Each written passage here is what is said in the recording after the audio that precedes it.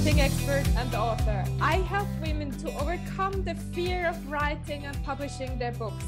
And I'm so excited to have Astuti Martosudirdjo from Switzerland with me. Astuti is a life coach and subconscious mind reprogrammer who catalyzes the inner journey for go getters worldwide in shifting success into fulfillment. She facilitates a deep progress to align their conscious and subconscious minds so they connect deeper with their heart and body. Astuti walks her talk. She was an unconscious achievement addict go getter for decades before experiencing burnout a few years ago. Since then, she lives with a focused purpose while maintaining her health and peace through it. So, welcome Astuti to the show. Thank you, Esther. It's really lovely to be here with you today. So let's start. I think your turning moment, I mentioned it already a little bit before about the burnout, but maybe there are earlier turning moments in your life, Astuti.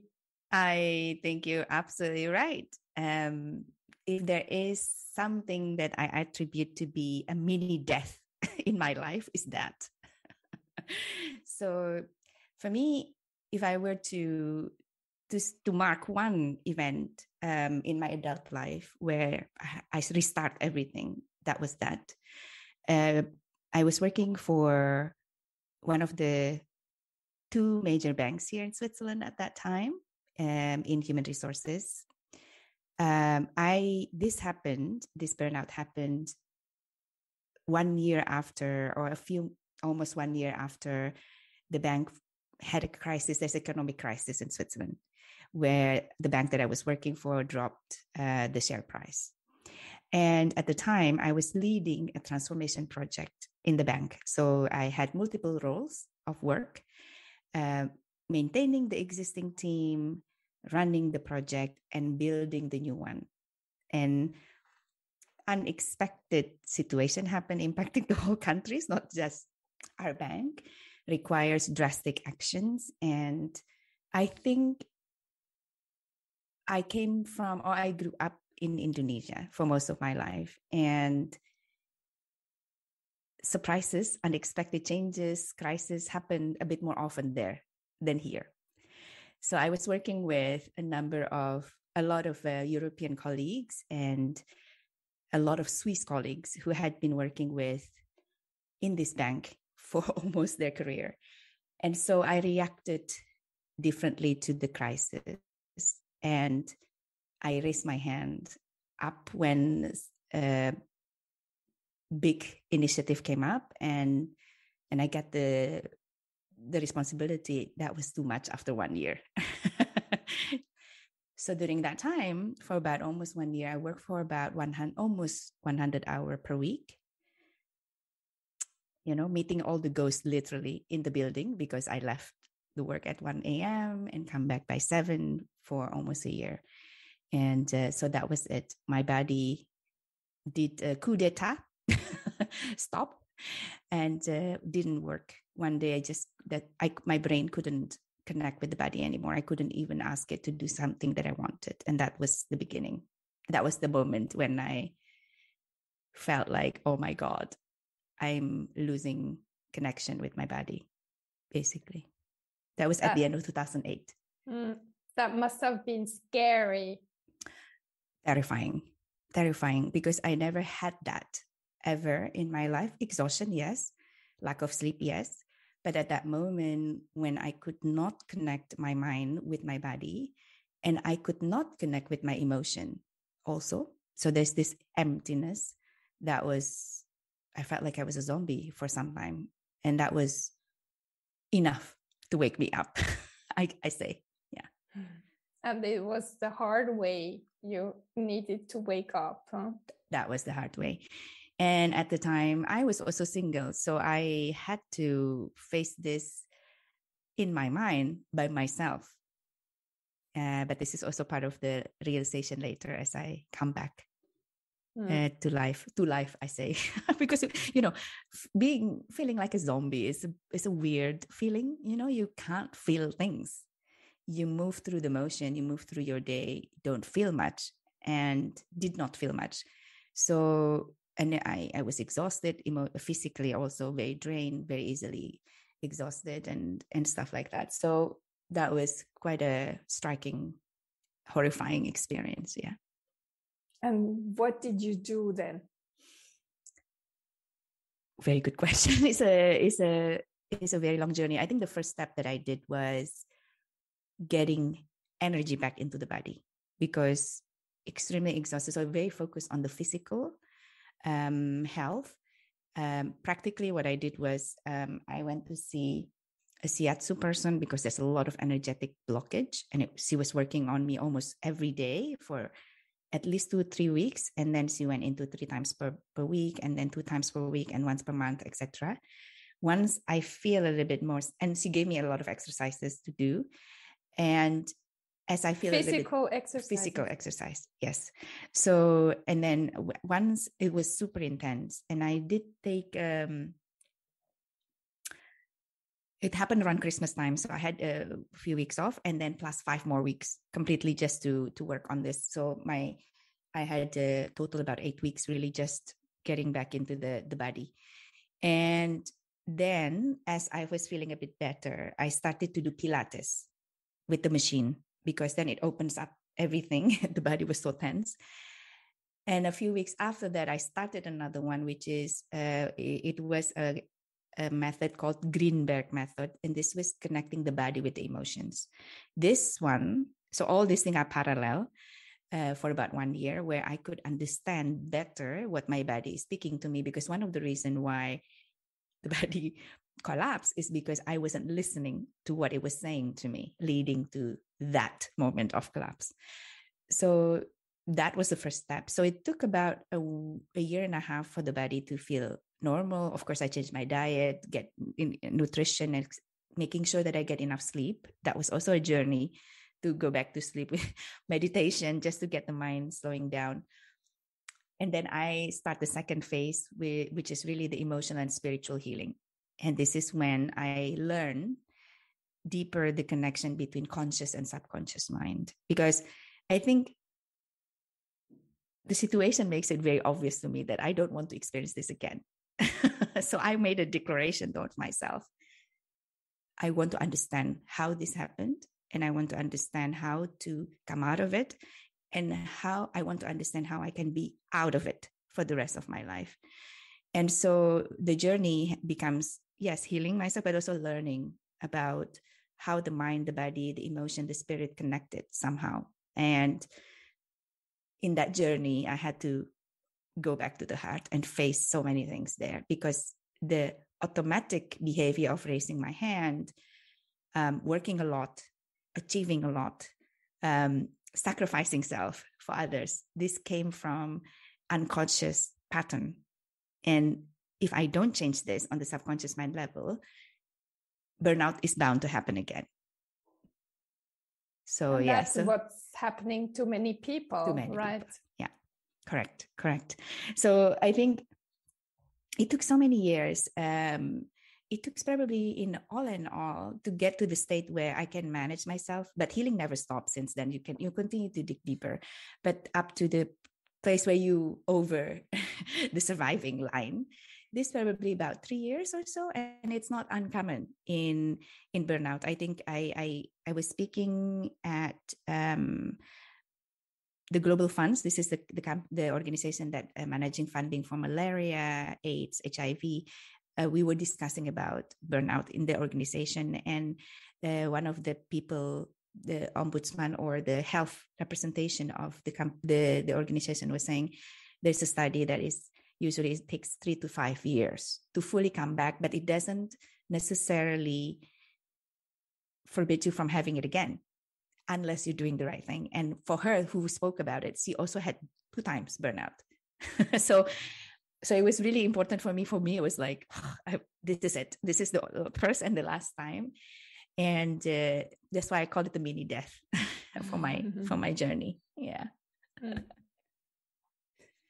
If someone is listening now and feeling touched by your story because something inside this person um, ring, uh, there's a bell ringing, what would you tell this person? Listen to the bell. That's the first thing. this is always the beginning of a journey is always when it rings that means there's something trust it trust it um my story may not be their story. The depth of the issue may not be the same but there's something that needs attention basically. And and there's i know i know for a fact and this is not theory because i've gone through it and i've seen it in so many people. Your heart always knows what is good and not good for you. That rings, that resonance in your heart, that's when the heart is speaking. So I was one of those people who was not always willing to hear the ring. I had statements in my, my, my myself years ago before the burnout. This will never happen to me. I'm stronger. I can take a lot. I can take a lot more than most people, which was true up to that point. But I think the deep voice within me, myself says this is not the healthiest option if you were going to sustain yourself for a long time in life with joy and peace. Because I think around it happened when I was about 34 years old. Um, and you know, when you're entering 30, you start question, what do I want? What do I want? And and you make certain kind of decision without knowing their consequences of your decisions. You decide, I want to be happier. And then your system starts to work towards that. And it's basically saying, so some things have to go because this are not allowing you to be happy. And when we are not listening to the ring, at some point, the body's going to do it for you.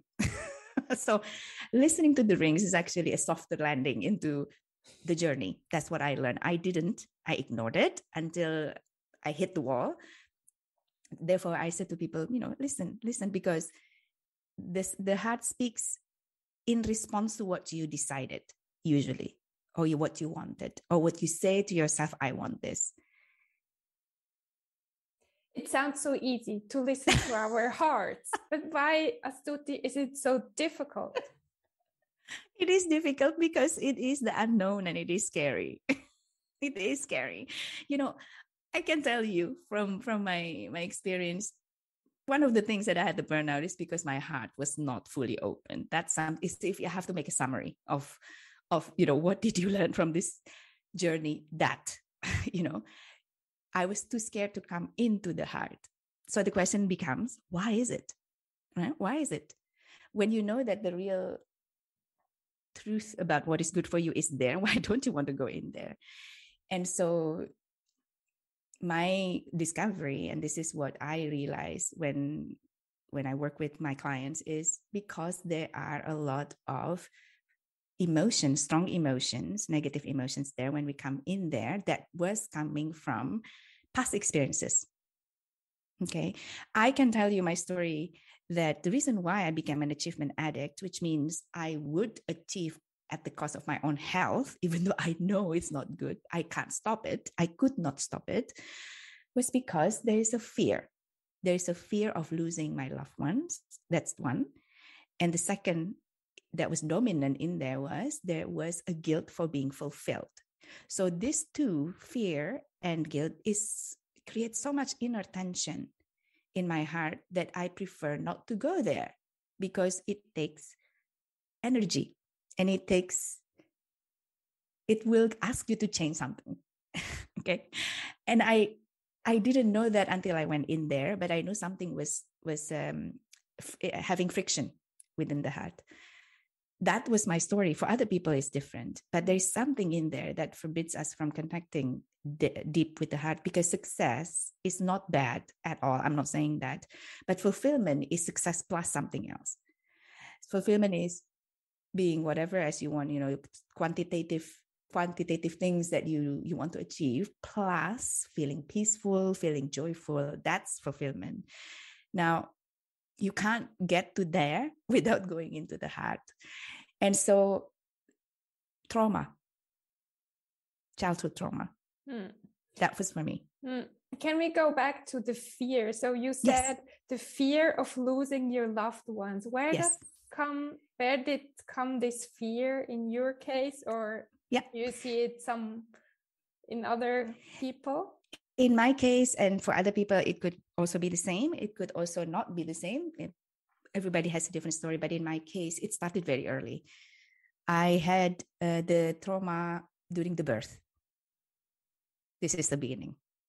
So I, my my mother had to endure a very long birth, and I got separated.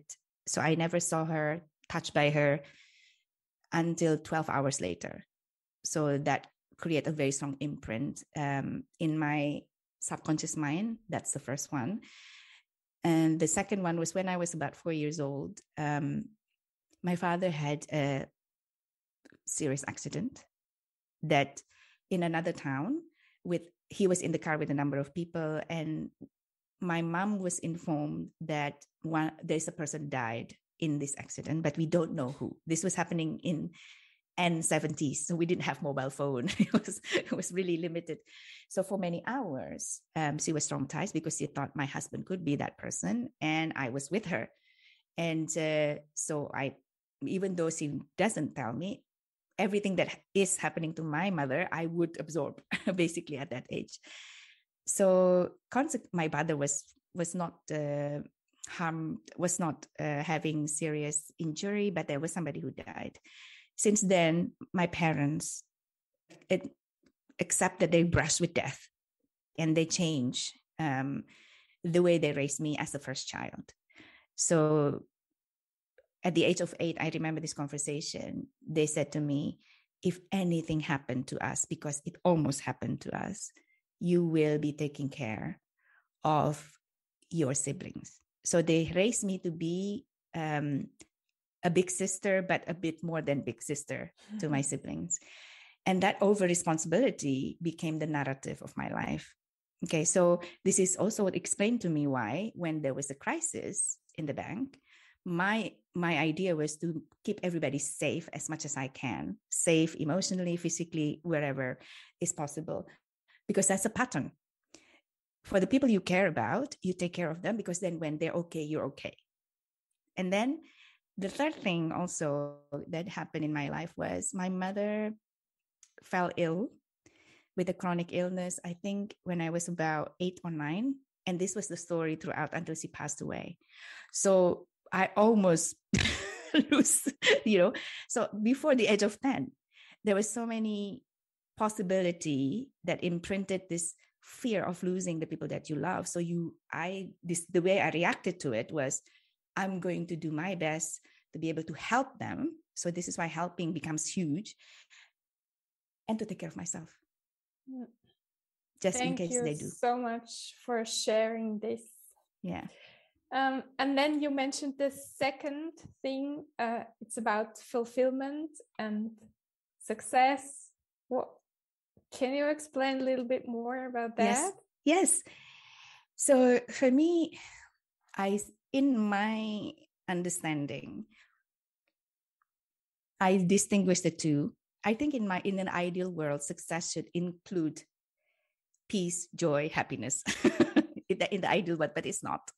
Because when we are growing up, successful for each of our family, maybe not in all family, but in a lot of family is good job, good money, house, family, getting married, having children. This is what you are successful. You're somebody if you are like this, but nobody is talking about that you feel peaceful as you go through it, that you feel joyful, you are healthy. Health is often not being even mentioned. And so as I go through this journey of restarting, I start question my life. What is it? And actually, as I grow older, it's less of success, but more into fulfill is in terms of what I find important is the quantitative, uh, no, the qualitative, which is peaceful, joyful, etc. So a lot of people, when they reach success or when they feel they have achieve certain level of their lives, they start to question. And usually reaching the mid 30s, early 40s, they start to, question, is this it? why do I feel numb? Why do I feel hollow? Why do I feel, despite of all this money, unhappy, less than happy? It could be tired. It could be all these things, and and this for a lot of people is we they don't know how to to deal with this because they think maybe this is just how it is. Because it's not educated that that you're supposed to be that life you are supposed to go through a fulfilling life with ease. Fulfilling meaning you're also supposed to experience joy and peace and on all whatever you want to experience.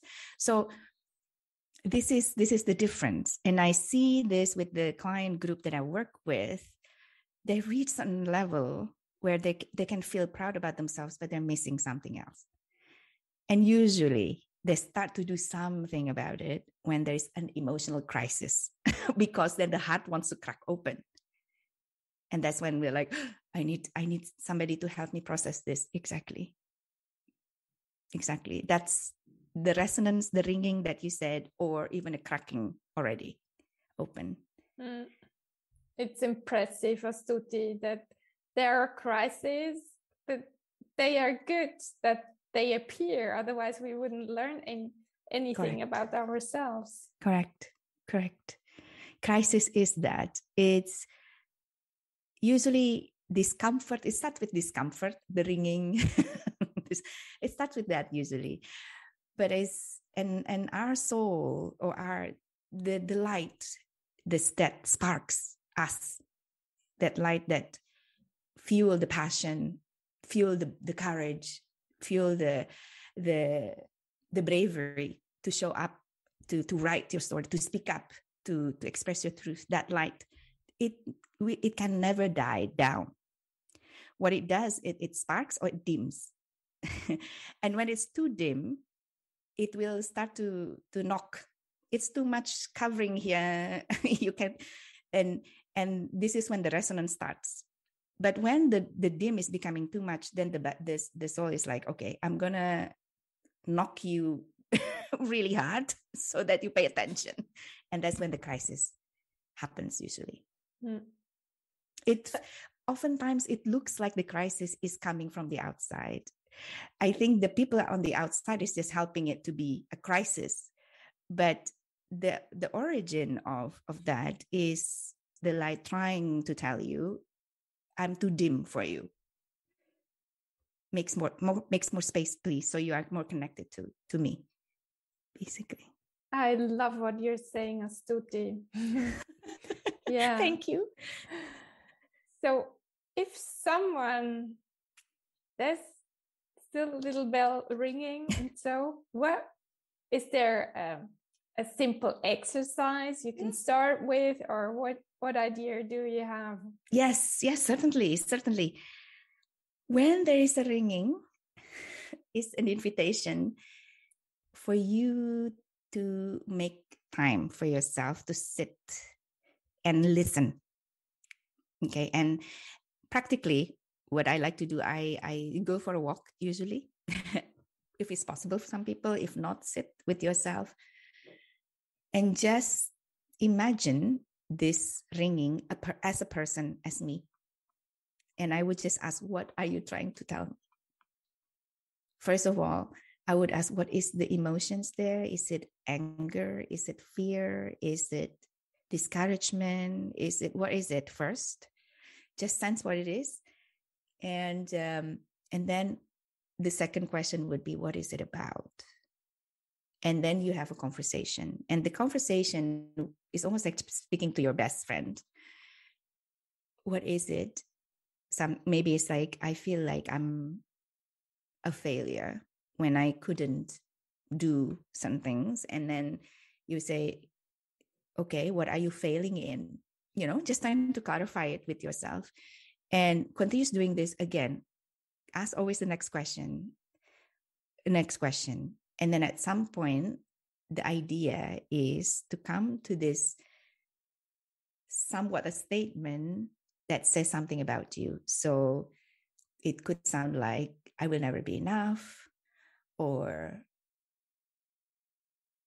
people hate me, or no love will ever be enough for me whatever and that is that is the the the gem that you want to go for that you want to get. And when you get that you can then acknowledge it that is there and then you can say but i know it's not true. Or if you feel like i want to let it go but i can't this is the time to get help. Because there's something more intricate underneath that usually. But just understanding what it is is already shifting a lot of the grip that this has that you can remind yourself that you're not that or you can start telling something that is more truthful than that to you at that moment. Some some people say you know say affirmation that is on the idealistic state. I partly agree to that partly not. I think this the body needs uh, much more it, it is much more comfortable when the statement is more truthful to you at that moment. So go one level above and then say it and then you know three days later go one level above that so that the body has time to absorb it and to to change it. But again if there is like something that's niggling and uh, stubborn and it's still that's when you can get help. But otherwise you can do this yourself. Uh, beautiful. Thank you mm-hmm. for sharing this. You're welcome. And astuti so we were talking about crisis but once you had your crisis and you overcome it how can you stay healthy and mm-hmm. very good question esther it's an mm-hmm. ongoing journey so one thing that helps me is you know in the in the process of coming up when i was working to reprogram my my subconscious mind suddenly in there is changing the beliefs about what is truthful for me or not yeah so i change a lot of like i have to achieve a lot in order to be loved for example. Or you know when i achieve a lot i i I'm, i will not lose the people that i love for example. Those had to go because the truth of the matter is you will always lose people. They they have an expiration date. We all do. So to to to work on this fear of losing them to let go the fear on the body etc through the therapy and the subconscious reprogramming was something i was doing. And then i could i could instill other beliefs in me that says being healthy keeps you in the longer connection with your loved ones. And then it starts living in my head. So is that living in my body. With that instilled i can instill a healthier habit for me. It's as simple as going for a walk for 10 minutes. It's as simple as meditation 10 minutes per day. It's as simple as switching off the tv at 9 p.m you know it's like it's but it's but it's uh, it's, it's as simple as doing art. It's as simple as taking 10 minutes to scribble because my mind is very very strong so i need it to slow down. And one thing that works with me is scribbling with color i love color so i just scribble scribble scribble. All these things it's keeping me healthy and it's not smooth sailing every day. There are times when i was not able to be fully committed self forgiveness is important because I said, look, it's not that I want to harm myself. It's just today I feel like I want to watch a series and until 10 p.m., you know, and and and tomorrow I'll do better. So I think there are two things. It's really changing the belief about what is good for you if for what you want. Second, creating the habit. And third, three is very loving and kind in executing the habit. Not so self-judgmental when I don't do certain things that, that I'm supposed to do. And uh, I think for me, being kind to myself is critical, is very, very critical to maintain the health. And there are days that I'm pretty good, and there are days that I, I'm not. and that's just how it is. And this is so human, and yes. you're showing up so vulnerable. This is beautiful, Astuti. You're welcome. It's really, I'm like human. I, I, I, I said, I'm, a, I'm, I'm just like everybody else. You know, I have my good days and bad days, and, and it's okay. mm. Yeah. Yes. And when we don't expect from ourselves to be, to have good days all the time, then yes, we allow ourselves a lot. Definitely to be human. Mm. yeah. yes. So, Astuti, where can people reach you? Yes. So, I'm in a number of social media. The first thing is my website. It's the easiest. It has the link to everything. It's uh, my website is www.upliftmylife.today. So that's the main one. I'm in LinkedIn also, Astuti Martosudirdjo. I also have a podcast channel. Um, it's in, you can find it in Spotify, Apple Podcast, the major ones, and you can just look for Uplift My Life Today. And then you'll see that there's um, a lot of interesting insights and knowledge that I learned from how to move from success into fulfillment. And um, and then I'm also in Instagram, Astuti Marto. So yeah, you can connect with me from a number of places: Instagram, LinkedIn, uh, website, and podcast. Great. And Astuti, three last truths. What would you like to share? I'm an introvert. I'm an outgoing introvert. This is a lot of people don't know that. uh, so I'm an outgoing introvert. Um, that's one thing. Number two, I like um, to sleep, actually, like a bear. and number three, I realized this recently. I'm actually I actually love artistic uh, activities. I only mm-hmm. discovered this two years ago after 46 years convincing myself that I don't like artistic stuff. so I realized actually I love it. So yeah, um, a lot of people don't know this either. Wow, so. wonderful.